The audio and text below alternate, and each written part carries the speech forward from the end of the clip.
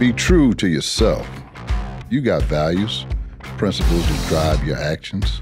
And when you live them consistently, again and again and again, you become known for those things. Smart, tough, dependable. Those words may not be flashy, but that's who we are. Fearlessly authentic. Every single one of us in it together. Now don't get it twisted. We got some swag and the baddest dude on the planet. But there's no deception here. They know us when they see us coming. Determined, gritty, resilient, powerful. We don't turn that on for 60 minutes once a week during the fall. This is how we live. 24 hours a day, seven days a week, 365 days a year.